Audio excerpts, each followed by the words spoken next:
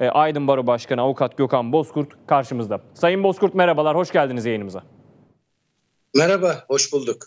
Ben şahsen sizin e, sosyal medya mesajınızdan öğrendim yaşananları. Ardından e, Sayın Dönmez'in, Sayın Baro Başkanı'nın e, çevresindeki insanlara ulaşmaya çalıştım gece saatlerinde. Bir videoya ulaşabildik, devamında birkaç mesaja ulaşabildik. Karakolda çekilen bir fotoğrafa ulaşabildik ve işin çerçevesi, boyutu anlaşıldı. İstanbul Baro Başkanı Avukat Mehmet Durakoğlu az önce dedi ki e, Baro Başkanı olduğunu söyleseydi normal bir vatandaşın sadece hukuki olarak haklarını kullanmak istediğinde karşısına ne gibi zorluklar çıkacağını asla gösteremezdi. Bunu göstermesi açısından da çok önemli bir olay olduğunun altını çizdi. Siz gece saatlerinde bu olayı ilk duyduğunuzda ne hissettiniz? Hemen yola çıkmaya hazırım vurgunuz var örneğin sosyal medya mesajınızda. Ee, baro başkanlarına yönelik bir algı mı yapılacak diye herkes bir endişeye kapıldı gece saatlerinde. Ee, sürekli irtibatta mıydınız? Olayın bu boyutuyla aslında sizin tanıklığınızı da dinlemek istiyorum. Evet, öncelikle e, tekrar geçmiş olsun diyorum Hatay Baro Başkanımıza.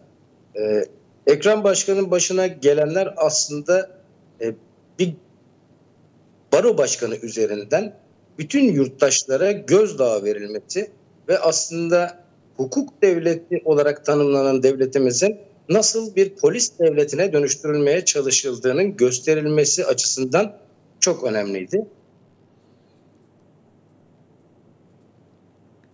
Galiba teknik bir aksaklık oldu. Değerli arkadaşlarımız, rejimiz tekrar ulaşacaklar. Evet geri geldi. Sayın Bozkurt geri geldi. Bıraktığınız noktadan tekrar sözü size vereyim Sayın Başkan. Evet, öncelikle e, hemen sevgili eşine ulaştım. Ondan bilgi aldım. E, küçük kızları var Asral. E, o çok etkilenmiş, ağlıyordu.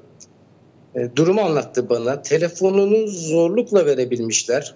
Bunlar e, daha sonra ulaştığımız başkanımızın karakolda şikayetçi olmasıyla ilgili verdiği ifadeye de yansımış. Dört sayfa bir ifade var. Kendisi bunları anlatacaktır basın açıklamasında.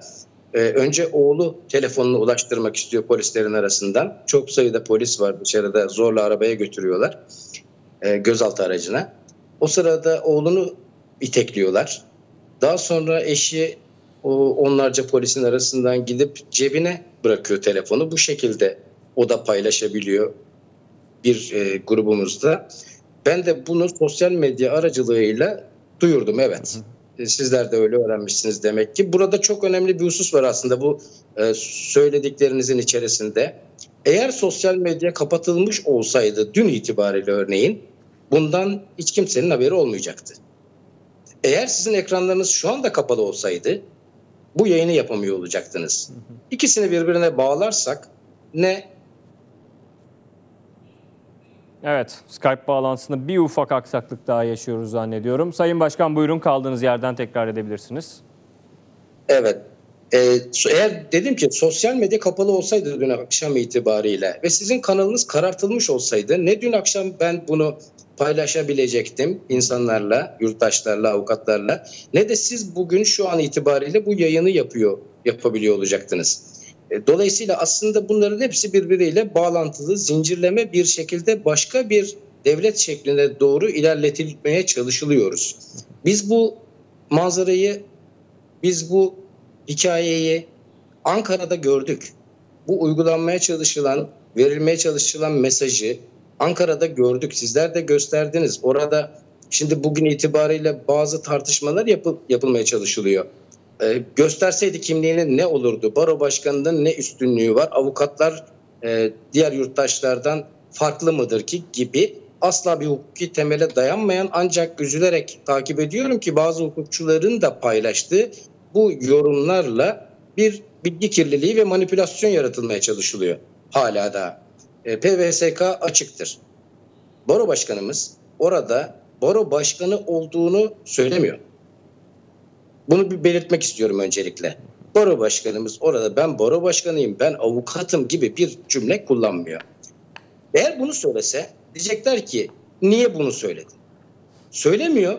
Bu sefer de diyorlar ki e söyleseydin baro başkanı olduğunu. Baro başkanı protokolde Cumhuriyet Baş, Başsavcısı ve Adalet Komisyonu Başkanı ile birlikte yargının üç ayağından birisi olarak e, dördüncü sırayı paylaşır. emniyet görevlilerinin o kadar çok emniyet görevlisi var ki akşam orada. Hiç olmazsa amirlerinin Ekrem Dönmez'in Hatay Baro Başkanı olduğunu bilmemelerine zaten imkan olduğunu düşünemiyorum. Ama mesele şu. Biraz önce söylediğim gibi Hatay Baro Başkanı aslında hiçbir yurttaşa yapılmaması gereken bir muameleye maruz kaldı orada. Ve aslında her yurttaşın eğer bilse ileri sürmesi gereken hakkını ileri sürdü bir vatandaş olarak. Dedi ki bunun dayanağı nedir? Önce onlar kimliklerini gösterecekler ve dayanağını söyleyecekler. Bu kadar basit bir şeyin buraya kadar gelmesi e, korkunç. Ama aslında e, ne tarafından bakmak lazım bilmiyorum. İyi tarafından bakarsak vatandaşlarımız e, haklarını öğrenmiş oldular bu vesileyle. Bu çokça konuşulur oldu dün akşamdan bu yana. Bir taraftan bakarsak bakın baro başkanlarına da bunu yapıyoruz. Hepinize yaparız mesajı verilmiş oldu. Ankara'da da yaşadık bunu dedim.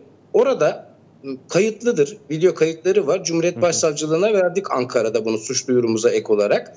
E, polis müdürünün baro başkanlarına ben derin devletin polisiyim dediğine şahit oldu Türkiye. Böyle Dün böyle bir ifade mi kullandı? Aynen böyle bir ifade kullandı. Ankara Cumhuriyet Başsavcılığına baro başkanları olarak Ankara'da yaptığımız suç duyurusuna ek olarak o video kaydını sunduk. Bu var. Ee, şimdi Hatay'da da ne yaşandı ona bakalım. Bu kez Hatay Baro Başkanımıza polis ben polisim, poli, ben devletim dedi. Ben devletim dedi polis. Ben Türkiye Cumhuriyeti Devleti'nin bir memuruyum, bir polisiyim demedi. Deyip kimliğini göstermedi.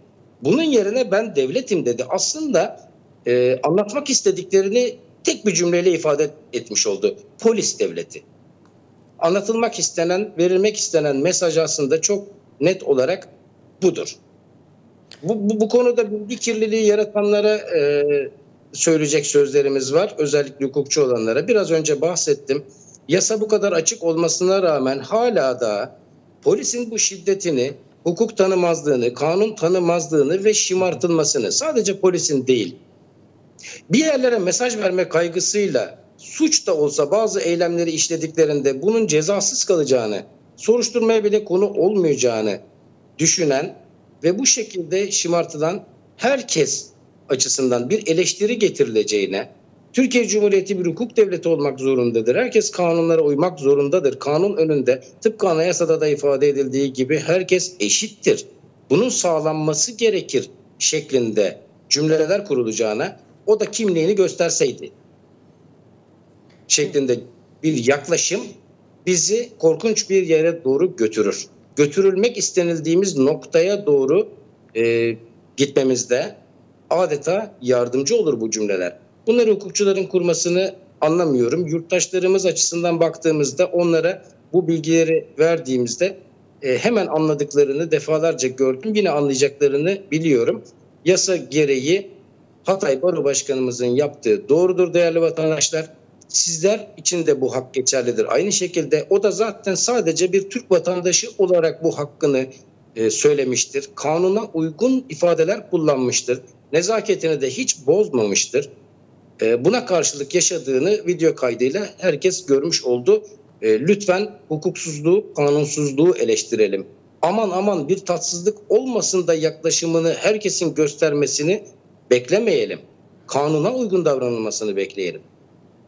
Sayın Başkan şunu da sormak istiyorum. Ee, daha sonrasında kendisiyle görüşebildiniz mi? Biz reklam arasında ekibimiz e, çok kısa bir görüşme yapabildi Sayın Baro Başkanı'yla. E, şunu söyledik. Birinci ağızdan anlatmak için bir basın toplantısı düzenliyoruz. E, 12.30 bir sularında bu basın toplantısını gerçekleştireceğiz. Dolayısıyla daha sonra bir katılım talebimize olumlu yanıt verebileceğini söyledi. Çünkü ilk ağızdan bir yandan da anladığım kadarıyla raporları, tutanakları vesaire bunları toparlıyor ki kameralar önünde rahat bir şekilde herkesin görebileceği bir şekilde anlatsın.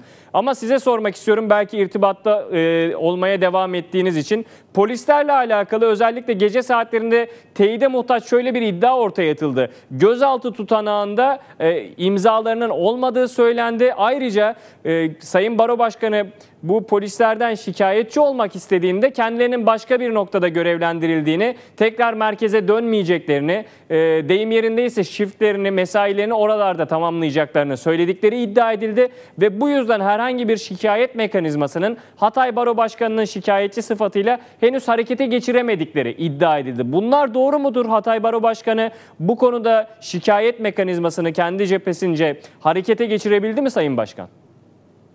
Ee, şöyle ifade edeyim. Söylediklerinizin bir kısmı doğru bilgi Hı-hı. olarak size aktarılan bilgilerden. Ee, şöyle söyleyeyim. Akşam oradan hastaneye götürülüyor. Hı-hı. Gözaltı prosedürü uygulanıyor resmen.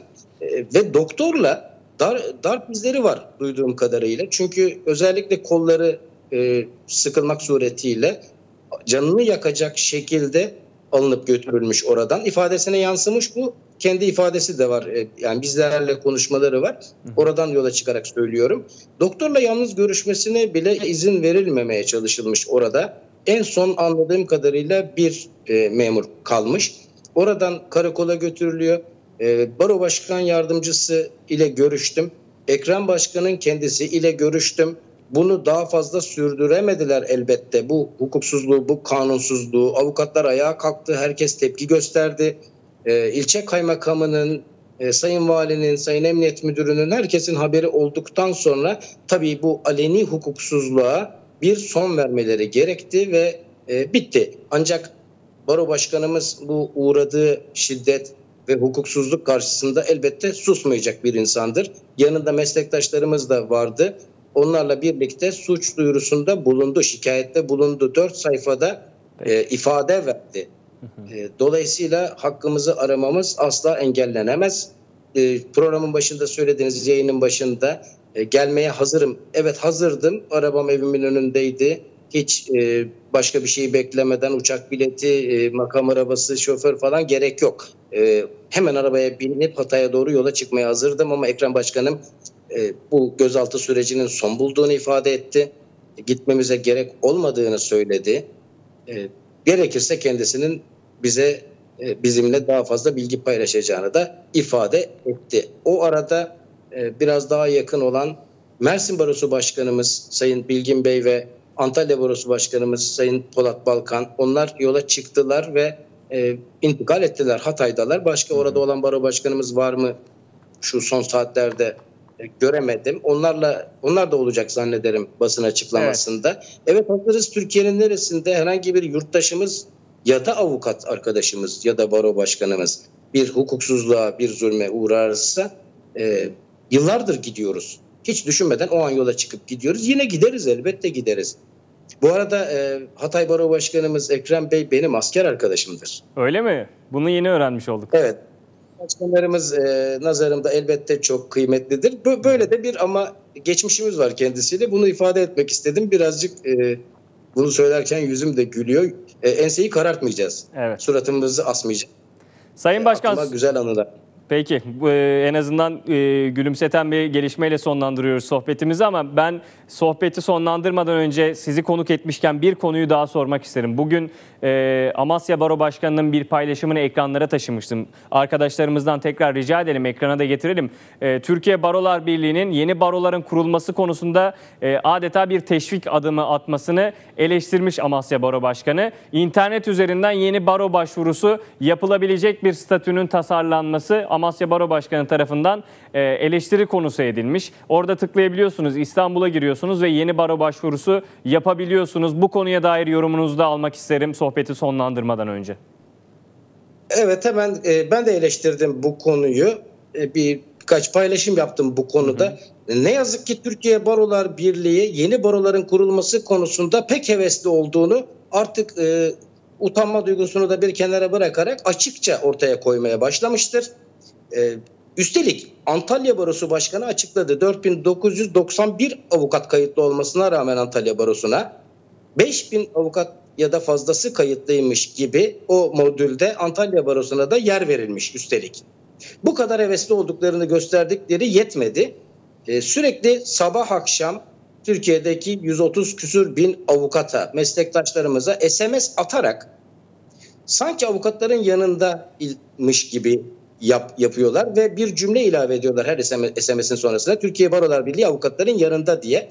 Dün akşam bunu da eleştirdim. Gece 2.15 sıralarında. Ee, Türkiye Barolar Birliği Başkanı Metin Feyzioğlu'nun sabah akşam avukatlara SMS atarak te, Türkiye Barolar Birliği avukatların yanında dediğini kendisine Hatay Barosu Başkanı Sayın Ekrem Dönmez'in de bir avukat olduğunu eğer bilmiyorsa hatırlatmak istediğimi ifade eden bir paylaşım yapıp sonunda da e, fındık kadar değeri yokmuş nazarınızda demek ki bir avukatın, bir baro başkanının diye de bitirmiştim. E, durmak bilmiyor. Bugün de bir SMS atmış avukatlara. Yine Türkiye Barolar Birliği avukatların yanında diye bitirdiği bu SMS'te de avukat genç avukatların aidatlarının yarıya düşürüldüğü avukatlık yasası değişikliğinden bahsederek kendilerinin bu süreci takip ettiğini, katkılarının olduğunu çok açık bir şekilde itiraf etmiş. E, oysa o süreçte biliyorsunuz ki biz Ankara'da sürekli barikatlar arasındaydık. E, düşüncelerimizi, fikirlerimizi ifade etmeye çalışıyorduk. Toplu halde yaptığımız açıklamaların altında kendisinin de imzasının olmasına rağmen meğersem gizli gizli baroları bölen bu çalışmaya katkı sunmuş demek ki. Bu e, SMS'in saati 09.58 Türkiye Barolar Birliği Başkanı Feyzi Oğlu'nun Hatay Baro Başkanı'na uygulanan bu hukuksuzluğa karşı kınıyorum şeklindeki tweetinin saati de 10.04 yanlış hatırlamıyorsam. Dün akşamdan beri suskunluğunu bu konuda dahi bozmayan Metin Feyzioğlu hala Türkiye Barolar Birliği avukatların yanında şeklinde SMS atmaya devam ediyor. Baronun kaynaklarını, baroların kaynaklarını kullanarak bunu yapıyor. Meslektaşlarınız bundan rahatsız Sayın Feyzoğlu. Meslektaşlarınız bundan rahatsız. Yanındayım beni çok seviyorlar diye sabah akşam televizyonlarda e, konuşmalar yaptığınız o meslektaşlarınız, bahsettiğiniz meslektaşlarınız bizlerin üyeleri bizlerle bunu sürekli paylaşıyorlar. Rahatsızlar bu SMS'lerinizden. Lütfen artık bunlara bir son verin. Artık gereğini yapın. Defalarca çağrı yapıldı. Yapmaya niyetiniz yok belli ki ama eğer dün akşam e, yaşananlardan sonra da sabaha kadar suskunluğunuzu bozmadıysanız Türkiye'nin gözleri önünde tam 12 saat geçti en az. En az 12 saat geçti. Ve eleştiriler üzerine bir tweet atarak kınadınız. Bir baro başkanını bu şekilde e, bu, bu muamelede dahi yalnız bıraktığınızın bu kadar görünür olmasından dahi rahatsız değilseniz neden rahatsız olursunuz bir TBB başkanı olarak artık bilemiyorum.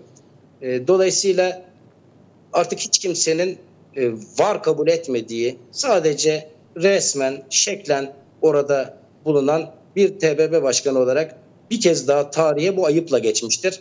Ekrem Başkan'ın başına gelen bu hukuksuzluk onun üzerinden bütün Türk yurttaşlarına verilmiş bir gözdağıdır. Türkiye Barolar Birliği Başkanı hem avukatların hukukunu hem de yurttaşların en temelinden başlayarak bütün insan haklarını korumak mükellefiyeti, görevi, sorumluluğu vardır. Belli ki kendisi bütün bunları unutmuş, geçmiş SMS'in başına sürekli meslektaşlara şöyle güzel şeyler yapıyoruz, böyle güzel şeyler yapıyoruz. Hiç güzel şeyler yapmıyorsunuz, ayıp ediyorsunuz. Bir baro başkanına o muamelenin yapıldığı akşamın sabahında avukatların aidatlarından bahsedip katkı sunduğunuz avukatlık yasası değişikliğini, baroları bölen bu değişikliği övmek yerine yeriniz baro başkanının avukatın yanı olmalıydı. Ama tabii o yeri çoktan unuttunuz. Çok arkalarda bir yerlerde kaldınız. Artık sizi hiçbir yerde göremiyoruz. Görmek de istemiyoruz açıkçası. Sayın Bozkurt çok teşekkür ediyorum. Ben teşekkür ederim. İzleyen herkese de saygılar, sevgiler. Saygılar efendim. Aydın Baro Başkanı Avukat Gökhan Bozkurt.